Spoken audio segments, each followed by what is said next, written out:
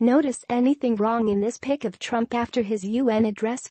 The media is losing its mind during a luncheon toast at the UN General Assembly. President Donald Trump took what appeared to be a sip of wine. Under any other circumstances this wouldn't be a big deal.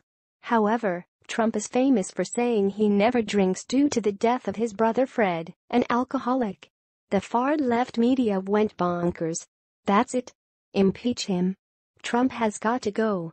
First, he says he's going to do whatever it takes to protect America from the despotic regime of North Korea. Now he's sipping wine. The marbles on this guy.